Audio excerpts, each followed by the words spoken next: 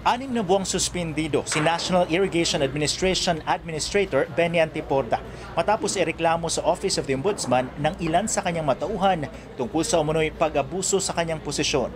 Ang punot tulo, ayon kay Attorney Michelle Raimundo, dating Corporate Board Secretary ng NIA, ang kagustuhan ni Antiporda na gawing permanente ang kanyang appointment bilang administrator. Ayon kay Raimundo, Inutusan umano siya ni Antipoda na tanggalin ang salitang acting sa dokumentong kailangang ikumpirma ng NIA Board noong Agosto para maging permanente niya ang kanyang posisyon. Ayon sa abogada, iba ang nakasaad sa appointment papers ni Antipoda. Pero natuloy ang pagkumpirma ng board at inalis ang salitang acting. Agad siyang sumulat sa Office of the President na siyang nag-appoint kay Antipoda para linawin ang issue. Dito umano nagsimula ang panggigipit sa kanya he went around the office saying that I tried to sabotage him.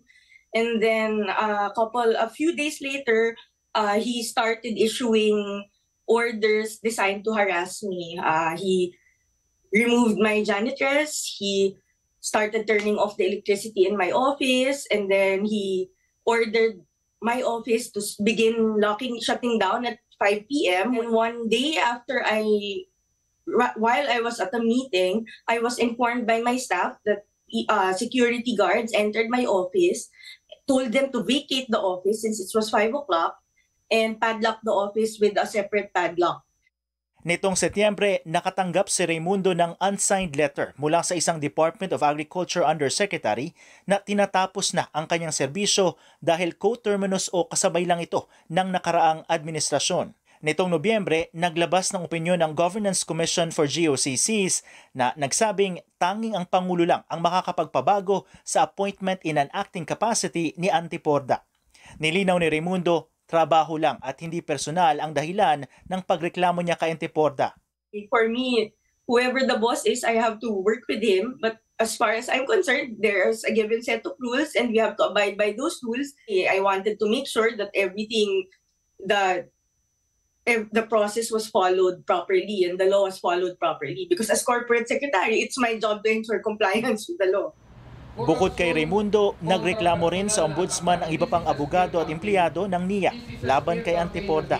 Ilan sa mga ginawa umano ni Antipoda, ang paglilipat ng ilang empleyado ng walang basihan o di kaya'y paglagay sa kanila sa floating status, ang pagbabanta na hindi ire-renew ang appointment ng ilang empleyado o di kaya'y sasampahan ng kaso at ang pamamahiya sa kanila sa publiko.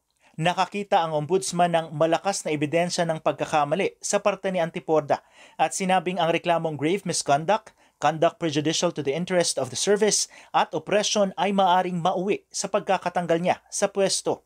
Para hindi maimpluwensyahan ng investigasyon, anim na buwan siyang suspindido ng walang bayad. Kanina, umalma si Antiporda sa naging aksyon ng ombudsman. Masyado pong naging mabilis no po, yung nangyari na hindi po kami nabigyan ng uh, fair chance para makapagbigay ng side namin, immediately po eh, ibinaba yung preventive suspension. Pinabulaanan din niya ang mga akusasyon. This is a smear campaign against me. Etong nilagay na to, eh, napaka mali po, no? Napaka misleading. Para bang, para bang gumaganti ako sa mga tao alam niyo po yung mga nakalagay na pangalan dito? Majority po rito na-promote. Paano ho naging retaliatory yung na-promote? Isinampa nilang mga alegasyon. Puro petty po ito. Petty allegations. No po? Paano pong petty? Napakaliliit na bagay na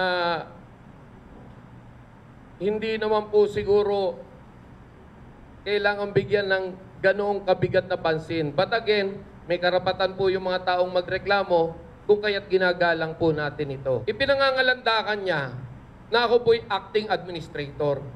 So ano ho yung palabas sa mga tao? Acting lang yan. Papalitan din yan. Yung sinasabi niyong papalitan ako. Yun yung masakit. Yun yung nakaka-demoralize sa tao. Inakusahan din niya ang mga nagsampa ng reklamo ng paghihiganti dahil nagsampa din umano siya ng reklamong graft laban sa ilan sa mga ito.